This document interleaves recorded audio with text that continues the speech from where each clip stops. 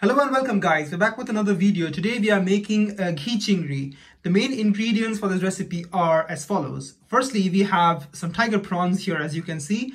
Besides that, we'll be requiring onion paste, tomato paste, some whole and ground spices, ginger garlic paste, some homemade garam masala, sugar, and of course, as the name suggests, some ghee. So these are the main ingredients. The exact quantities are in the description box. Please do have a look. Let's get started. The first stage guys here would be to shallow fry the prawns for which we'll just add some turmeric and salt to the prawns and just uh, mix it well. And all set, now let's go on to shallow frying the prawns.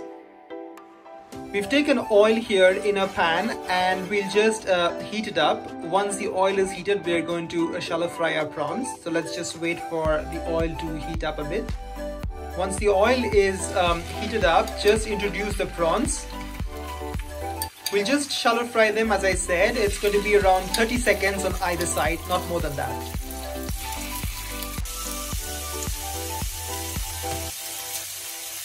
The prawns are now done after 30 seconds on each side. We'll just now transfer them into a separate bowl.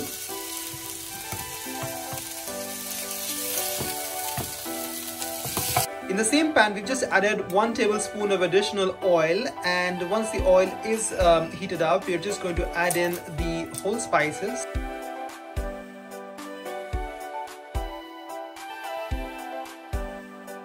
So after about 30 seconds, uh, the whole spices are now crackling. We'll add in the onion paste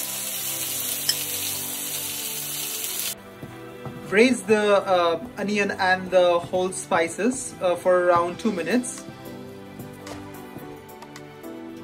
After a couple of minutes, uh, add in the ginger garlic paste and continue braising everything together until the raw smell of the uh, ginger garlic disappears. The raw smell of uh, ginger garlic has now uh, disappeared. So now we're going to add in the uh, ground spices, which is the Kashmiri mirch, the red chili powder and the turmeric.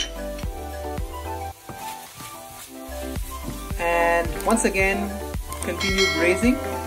You might want to add just a little bit of water at this stage, uh, such that the spices don't burn.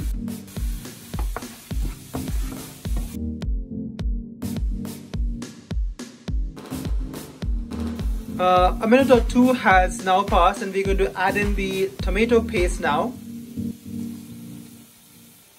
Mix everything. Also add in uh, salt and sugar at this stage.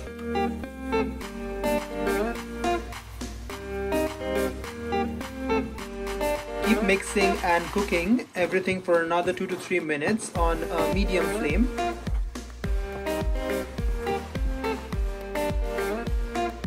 Once the tomatoes are completely cooked, we're going to add in the prawns.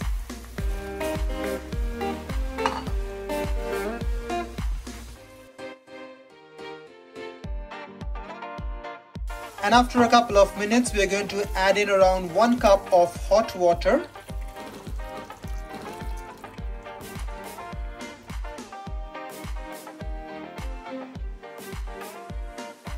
Uh, cover and cook for uh, 10 minutes on a medium flame. 10 minutes have now passed and uh, as you can see the gravy is on the thicker side. We would now add uh, the ghee and garam masala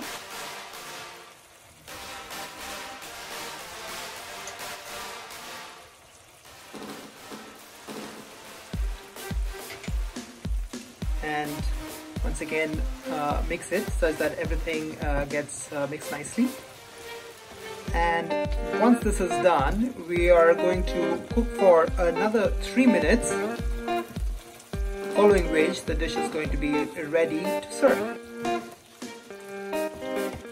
After three minutes the dish is completely ready and we'll now proceed on to the serving stage all set guys, as you can see the dish is served. It looks and smells amazing. Enjoy!